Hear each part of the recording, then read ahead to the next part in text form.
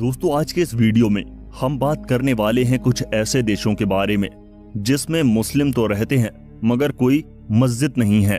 साथ ही साथ कुछ ऐसे देशों के बारे में भी बताएँगे, जहाँ मुस्लिमों को अपना कोई धार्मिक स्थल बनाने की इजाज़त नहीं है।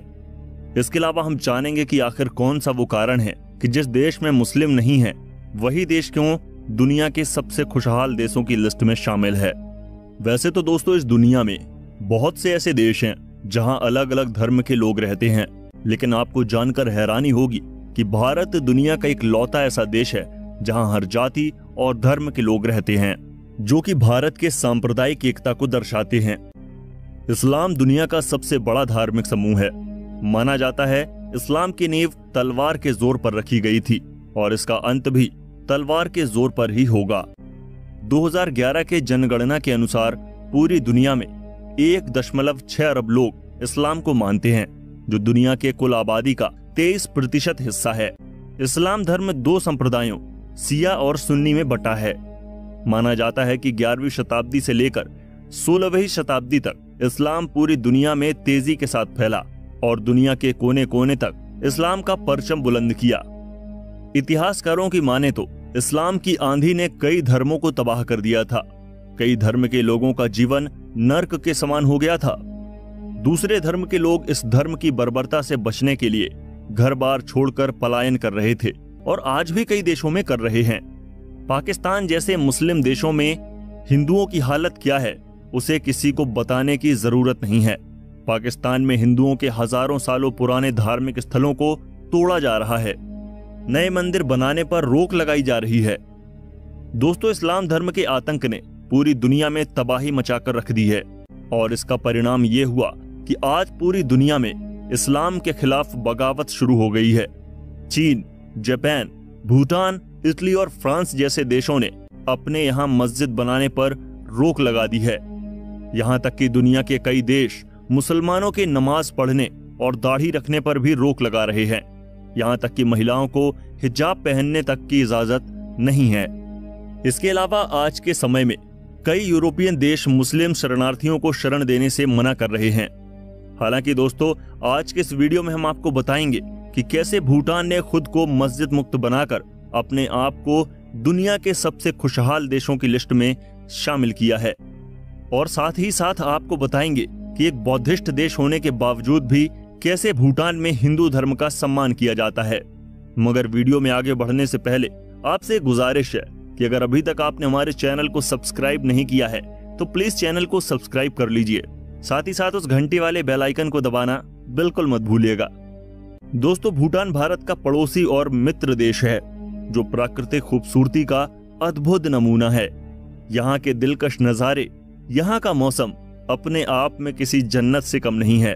भूटान के लोग काफ़ी अच्छे होते हैं। इसके अलावा, भूटान दुनिया में अपनी सभ्यता और संस्कृति को लेकर काफ़ी सजग है, क्योंकि जहाँ एक तरफ़ भूटान में जगह जगह आपको बौद्ध मठ और हिंदू मंदिर देखने को मिल जाते हैं तो वहीं दूसरी तरफ़ भूटान में एक भी मस्जिद मौजूद नहीं है।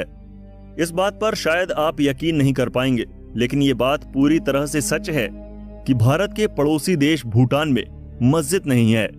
यहाँ आपको जगह जगह हिंदू और बुद्ध मंदिर तो दिख जाएँगे, लेकिन एक भी मस्जिद दिखाई नहीं देगी।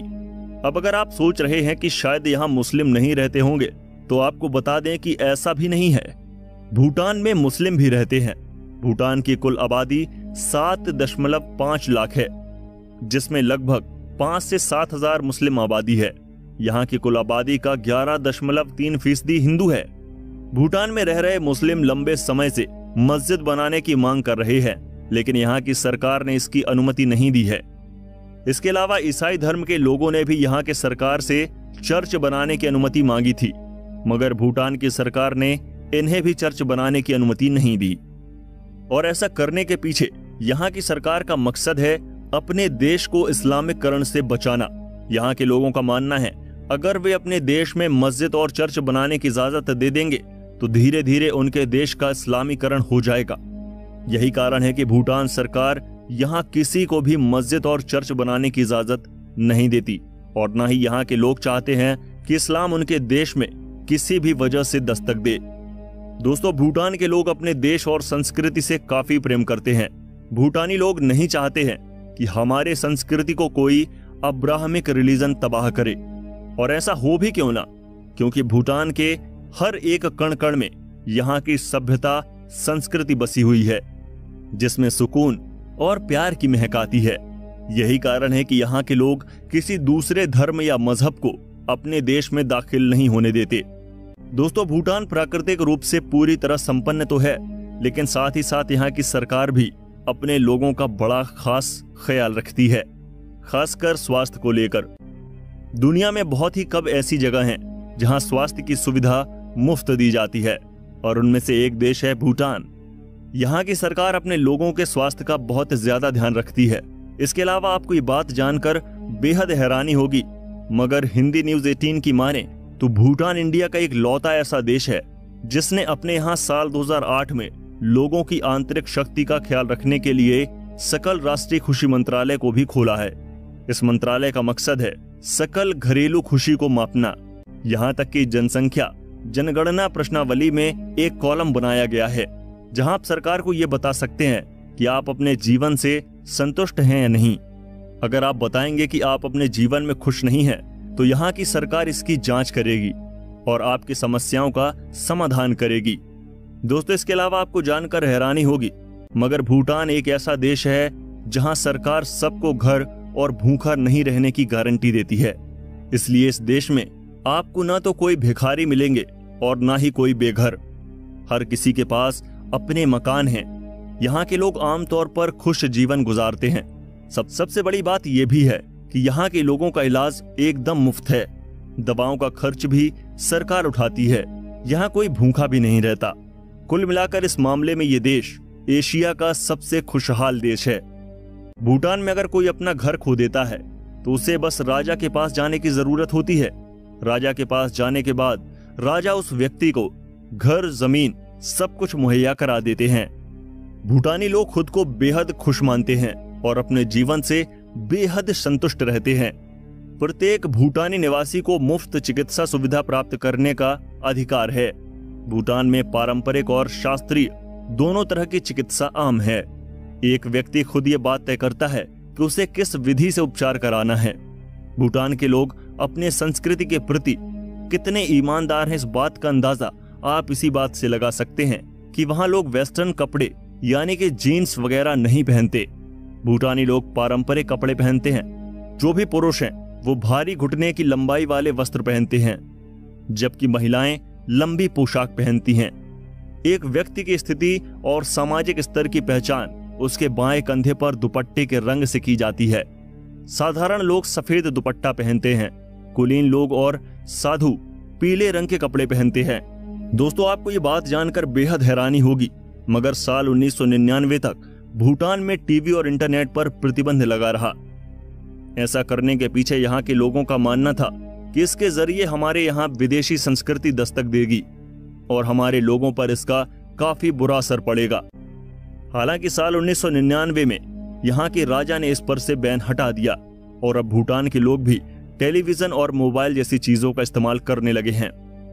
दोस्तों, आप ये जानकर चौंक जाएँगे, मगर भूटान के लोगों का मानना है कि देश के छियासठ प्रतिशत भाग पर जंगल होना ही चाहिए। काफ़ी मात्रा में जंगल होने के बावजूद भी आज भी वहाँ के लोग अपने जीवन में 10 पेड़ ज़रूर लगाते हैं। साल 2015 में भूटान ने एक विश्व रिकॉर्ड बनाया, जब वहाँ के लोगों ने सिर्फ़ एक घंटे में पचास हज़ार पेड़ लगाए थे। इसके अलावा अगर हिंदुओं के पवित्र स्थल मंदिरों की बात करें तो यहाँ का सबसे बड़ा मंदिर, यहाँ की राजधानी थिम्पू में मौजूद है। यहाँ न सिर्फ़ हिंदू, बल्कि बौद्ध धर्म के लोग भी पूजा पाठ करने के लिए आते रहते हैं। हालाँकि यहाँ की सरकार बेशक सार्वजनिक रूप से कोई मस्जिद और चर्च नहीं बनने देती, मगर अपने अपने घरों में नमाज़ और प्रार्थना करने पर भी कोई रोक नहीं लगाती। और यही कारण है कि यहाँ रह रहे मुस्लिम और ईसाई अपने अपने घरों में मस्जिद का ढांचा बनाकर नमाज़ अदा करते हैं। और ईसाई लोग अपने अपने घरों में गॉड से प्रार्थना करते हैं। दोस्तों, आपको जानकर बेहद हैरानी होगी, मगर साल 1970 में पहली बार किसी विदेशी इंसान को भूटान जाने की अनुमति दी गई थी।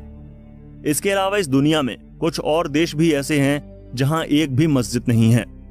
ये बात वाकई में बड़ी अचरज भरी लगती है, लेकिन इसका मतलब कतई ये नहीं है कि इन देशों में मुस्लिम नहीं रहते हैं। इन देशों में मुस्लिम तो रहते हैं लेकिन इसके बावजूद भी यहाँ कोई मस्जिद नहीं है। इसके अलावा वर्ल्ड पॉपुलेशन रिव्यू की रिपोर्ट के अनुसार, Greenland, Ireland, Falkland, Cook Island, Solomon Island, Tokelau और मोनेको जैसे कई देश ऐसे भी हैं, जहाँ एक भी मुस्लिम नहीं रहते। और यही एक बड़ा रीजन है कि इन देशों में एक भी मस्जिद नहीं है, क्योंकि यहाँ तो मुस्लिम रहते ही नहीं। लेकिन इसके अलावा तीन देश ऐसे भी हैं, जहाँ मुस्लिम आबादी तो है लेकिन इसके बावजूद एक भी मस्जिद नहीं है। भूटान के अलावा स्लोवाकिया और एस्तोनिया दो ऐसे देश हैं, जहाँ एक भी मस्जिद नहीं है।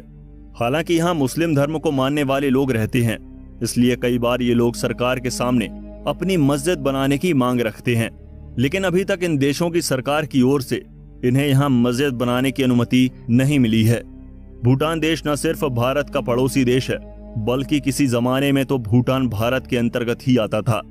आपको जानकर शायद हैरानी होगी कि सातवीं सदी तक तो भूटान भारत के कूच विहार राजवंश का एक हिस्सा हुआ करता था, लेकिन उसके बाद ये अलग हो गया और फिर ये देश बौद्ध धर्म में तब्दील हो गया।